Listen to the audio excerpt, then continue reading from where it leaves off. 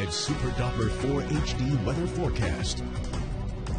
Well, good Sunday to you. I'm Keisha Kirkland bringing your Mother's Day forecast. Let's take a look at what's going on. Satellite radar pictures showing that cold front that moved through yesterday will continue to move off into the east. And then we have a secondary cold front that will move through today, ushering in colder air tonight and into tomorrow. So Mother's Day will be beautiful with lots of sunshine. 75 degrees will be the high in the upstate, 64 in the mountains. But with that breeze, it's going to feel a little cooler than that. Monday, very chilly start. 43 degrees will be the overnight low in the upstate.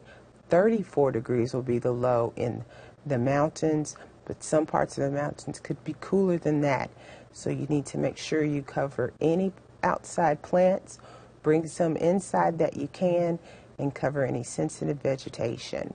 Then we'll start a slow warming trend for the rest of the week.